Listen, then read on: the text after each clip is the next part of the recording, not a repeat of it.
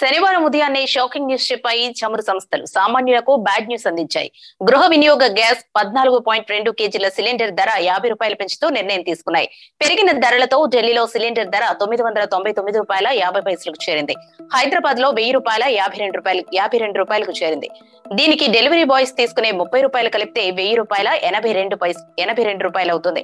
పెంచిన ధర వెంటనే అమల్లోకి వస్తుందని చమురు సంస్థలు తెలిపాయి. కాగా పంతొమ్మిది కిలోల కమర్షియల్ సిలిండర్ ధర ఇటీవల పెరిగిన విషయం తెలిసిందే. ఈ నెల ఒకటిన నూట రెండు రూపాయల యాభై పైసలు పెంచాయి చమురు సంస్థలు. పెరిగిన ధరలతో ఢిల్లీలో రెండు వేల రెండు వందల యాభై మూడు రూపాయలుగా ఉన్న కమర్షియల్ గ్యాస్ బండ ధర రెండు వేల మూడు వందల యాభై ఐదు రూపాయల యాభై పైసలకు చేరింది.